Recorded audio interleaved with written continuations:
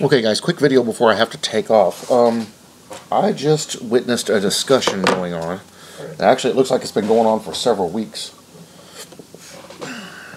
between Robert Breaker and I guess somebody who was his best friend. Uh, some of y'all may have seen this.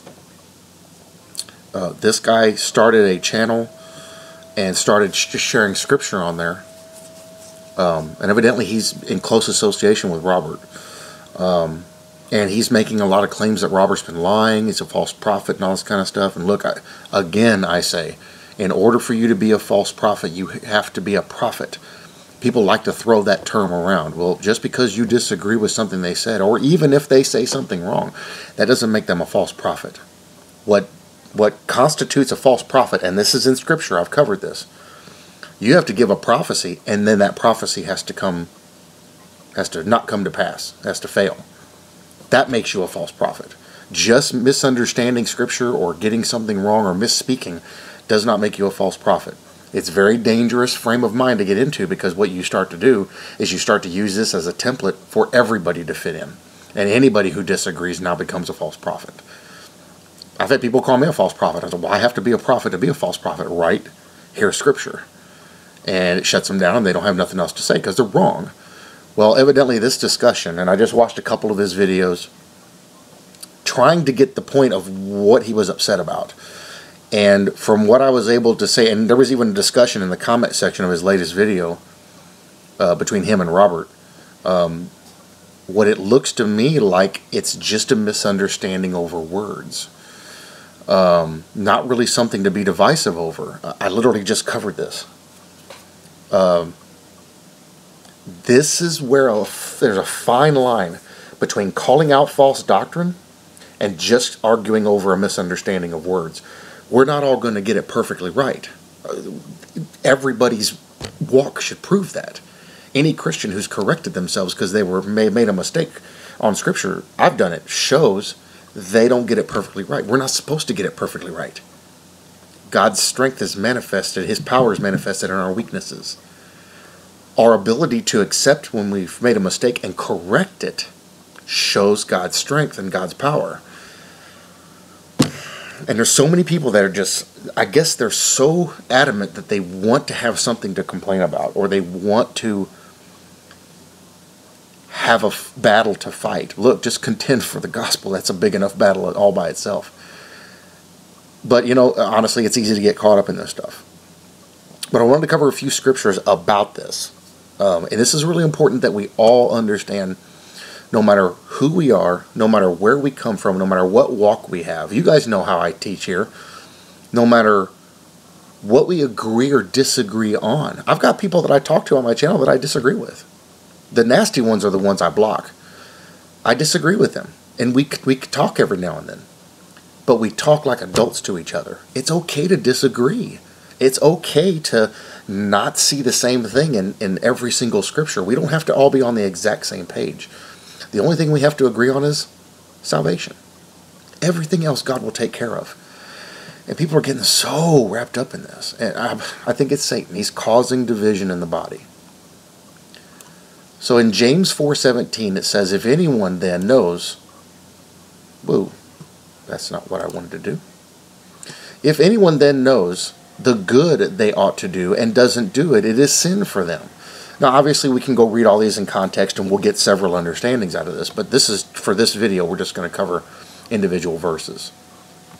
So, if anyone then knows the good they ought to do and doesn't do it, it is sin for them. What is this referring to? Well, this is referring to doing good for other people, filling the need, um, helping where we can help, and not turning away from that stuff. And it's also referring to how we treat each other.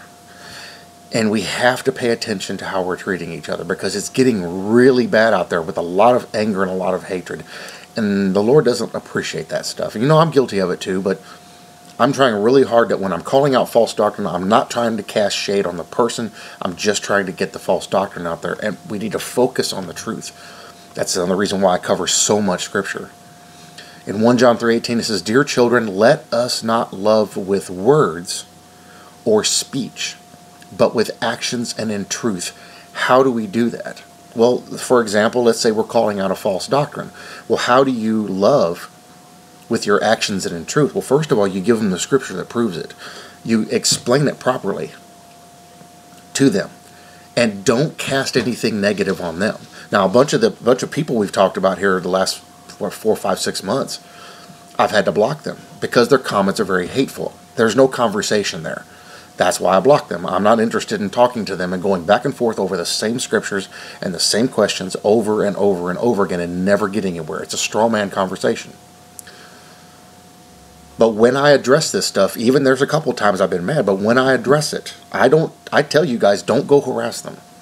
Don't look down on them. Don't be negative about the situation. They're still a human being. We still need to show them some love. But that doesn't mean we have to communicate with them. There's a right way and a wrong way to address these things. Now, a lot of people have gotten very hateful. Some people have dedicated entire channels just to making people look bad. I don't agree with that.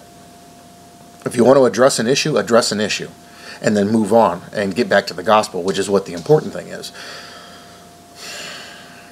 But to make your soul focus, oh, excuse me. But to make your sole focus casting hate and shade and negativity on somebody, that's that's not right. But that's when I'm starting to see a lot of people that are starting their channels to do that. The gospel is what's important. Christ is what's important.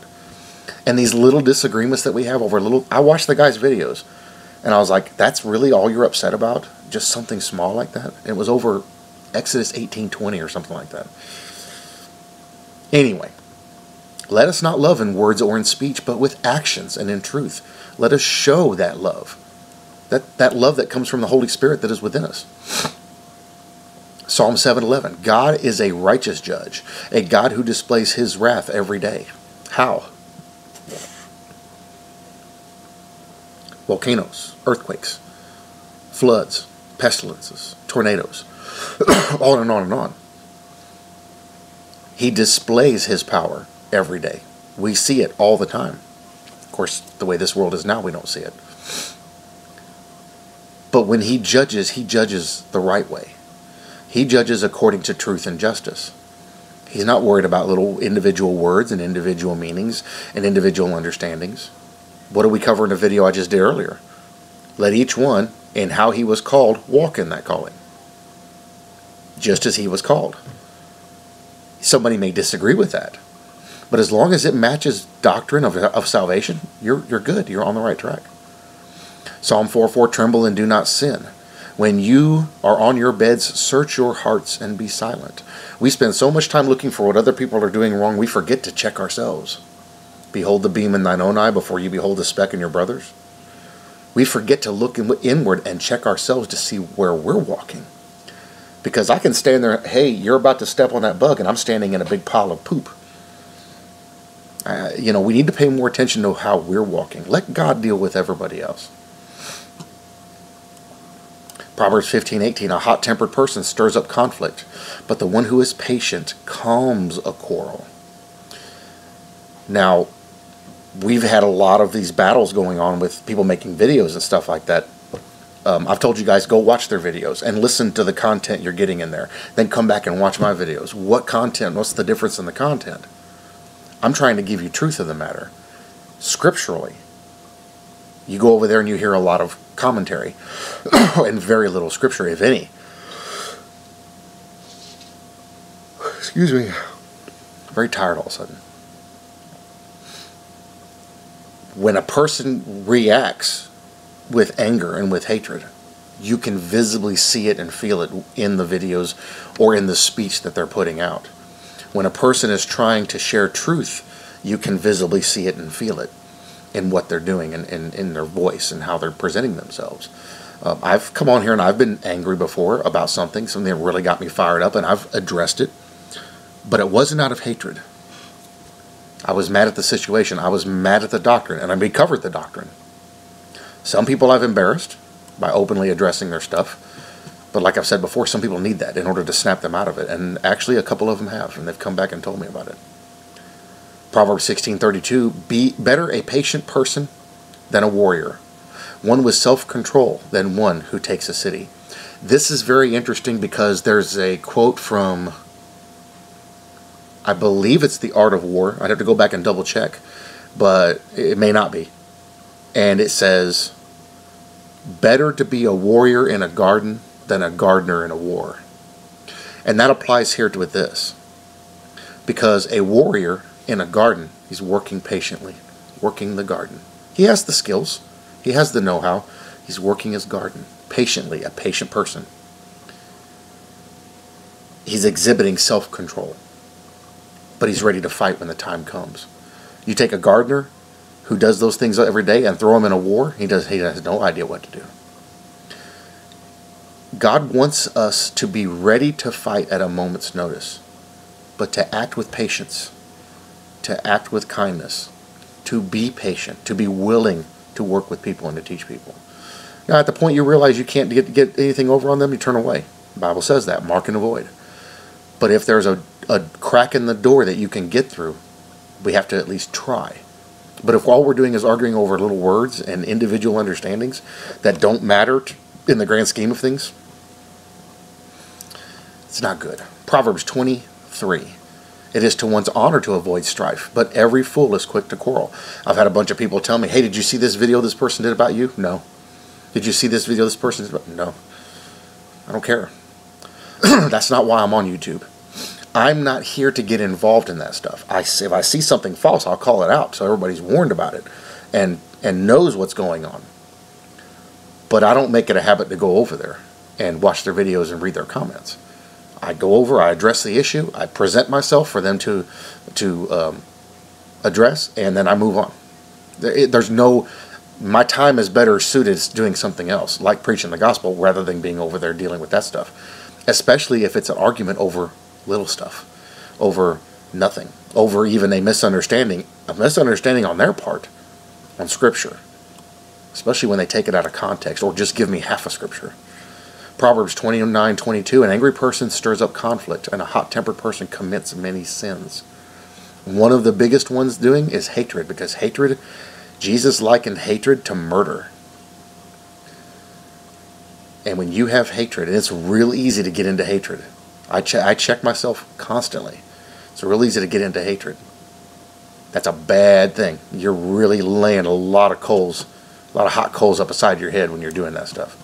Ecclesiastes 7 9, do not be quickly provoked in your spirit, for anger resides in the lap of fools.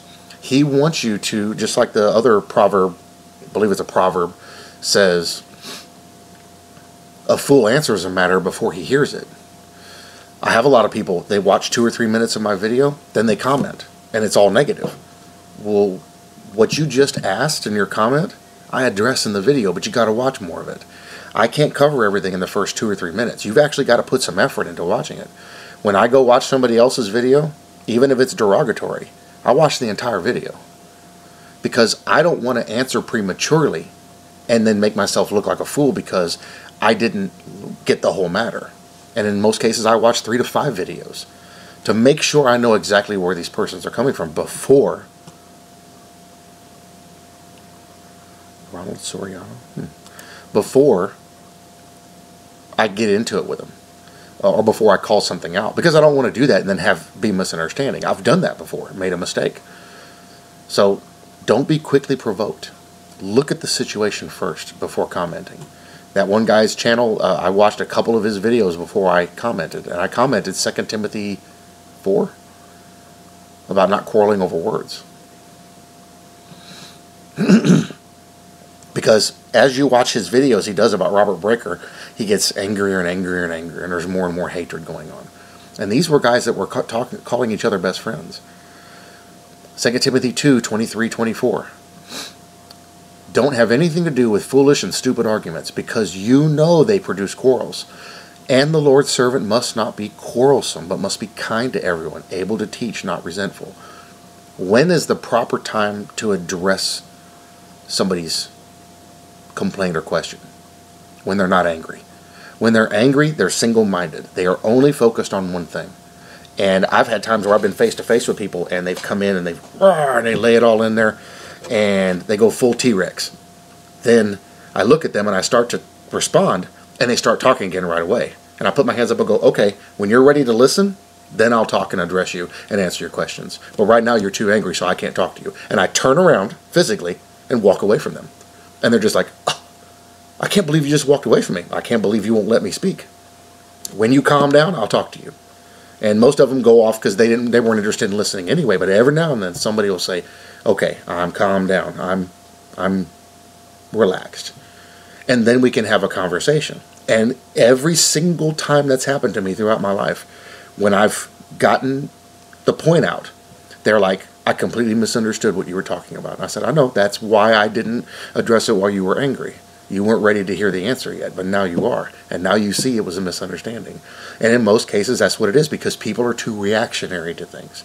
You have to listen to all the details first. Able to teach.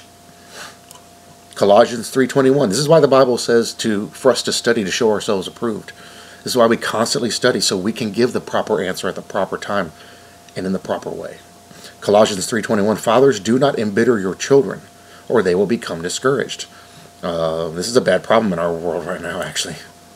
And it causes a lot of problems in families. Families are dysfunctional because of it. Matthew 5:22 But I tell you that anyone who is angry with a brother or sister, this is Jesus talking, will be subject to judgment.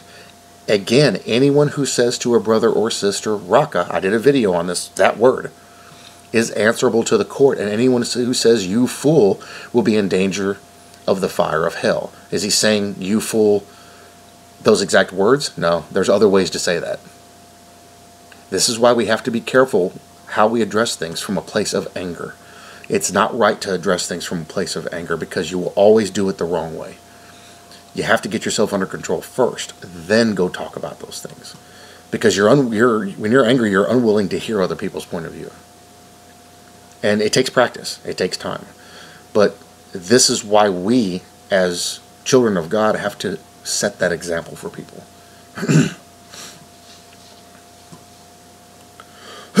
Proverbs 30, 33. For as churning cream produces butter, and as twisting the nose produces blood, so stirring up anger produces strife. Um, when I watched that those videos, I saw the building of the anger. This is something they actually. He said he had conversations, but he was asking Robert to repent of this stuff. I think they could have actually sat down and addressed this far differently if they were talking face to face. Because supposedly they did videos together. They could have actually sat down and talked about this. And wait a minute, why does this say this? And come to an understanding or gotten to a better explanation. It didn't have to lead to what it was. If they both believe in Christ, they're both brothers. Why are they fighting with each other over words? The Bible says not to do that.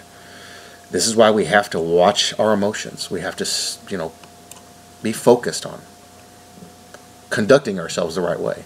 Proverbs 21:19 better to live in a desert than with a quarrelsome and nagging wife. There's another one that says it's better to live in the corner of your attic than with a contentious woman, which is quarrelsome and nagging. Colossians 3 7 through 9. You used to walk in these ways in the life you once lived. But now you must also rid yourselves of all such things as these anger, rage, listen closely, anger, rage, malice, slander, and filthy language from your lips. Do not lie to each other, since you have taken off your old self with its practices. This is a lesson for every one of us. If we're going to call ourselves born again Christians, we need to act like it. Now, a lot of people will say, "Oh, you're talking works." No, there there's evidence of being born again, and it will manifest in your physical form. You will show the evidence of being born again. You can't help it. It's the power of God. It circumvents everything. There should be changes in a person, and if those changes are changes aren't present, there's a high probability there's no indwelling of the Holy Spirit, or they're going against it. Philippians 2 14 through 16. Do everything without grumbling or arguing, so that you may become blameless and pure, children of God, without fault in a warped and crooked generation. Then you will shine among them like stars in the sky, as you hold firmly to the word of life. And then I will be able to boast on the day of Christ that I did not run or labor in vain. We have certain things we should strive for mainly in our behavior. He wants us to do those things. What happens when we do those things? People are so focused on the Ten Commandments that they miss this stuff. Colossians and Philippians, telling us how our behavior should be. When we start to self examine, we start to see, I got this going on. That goes against what that scripture says. I need to work on changing that. When you start looking at those things, the Holy Spirit goes, I gotcha. Go this way. And you start getting led to the proper path and the proper way to conduct yourself. In that changing that's in you, other people will see that and go, Whoa, didn't he just become a Christian? Yeah, look at that guy. But when you know how to address their questions properly, becoming a, a, a, a adult Christian, you're able to lead people to Christ that way. You're able to be used by God in the kingdom. But you have to be willing to look inward and say, you know, I'm wrong and I need to learn something new. A lot of people aren't. They think because they're a Christian that they're nobody can tell them anything. All the more I need people to tell me. Get rid of those bad emotions. Proverbs 19:13. A foolish child is a father's ruin, and a quarrelsome wife is like the constant dripping of a leaky roof. Proverbs 25:24. Better to live, here it is, better to live in the corner of the roof than share a house with a quarrelsome woman. And finally, Proverbs 13:10. Where there is strife, there is pride, but wisdom is found in those who take advice. Pride is a killer. When you guys give me scripture, I go read those scriptures. The video I did earlier today about the one in First Corinthians, that person gave me scripture. They asked, "How do you how do you address this?" I addressed it and showed quite clearly what it's referring to and what it means. I go read those scriptures. I could be wrong. And if I am, I need to correct it. And I need to correct it openly and let you guys know. That way I'm not leading you guys astray. So when it comes to quarreling over words, it is very, very important for us, one, to know what we're talking about if we're going to call something out like that. Two, make sure our cause is just. Three, make sure it's not over something that's inconsequential to salvation. If it's a little like pre trib, post trib, mid trib rapture, who cares?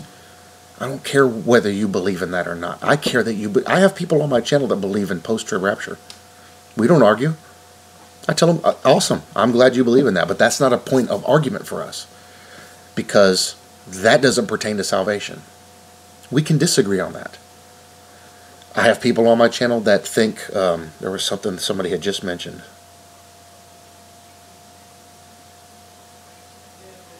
What was it?